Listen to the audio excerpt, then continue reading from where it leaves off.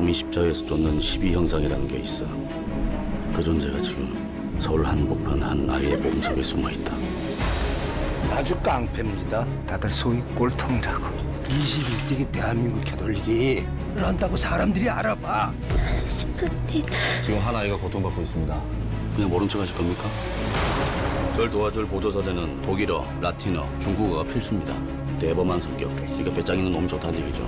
마지막으로 병적으로 가장 민감한 기질을 타고난 자. 별거 있겠습니까? 그래도 궁금은 하네. 제가 가서 꼭 확인하고 오겠습니다. 무슨 일이 일어나고 있는지. 내가 다 알아서 할 거니까 보조사대는 매뉴얼대로만 하면 들키지 않아.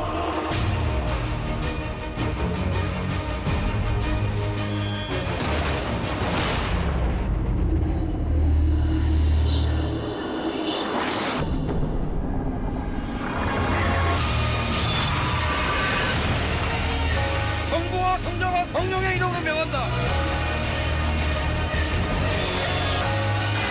왜 여기에 온 것이냐?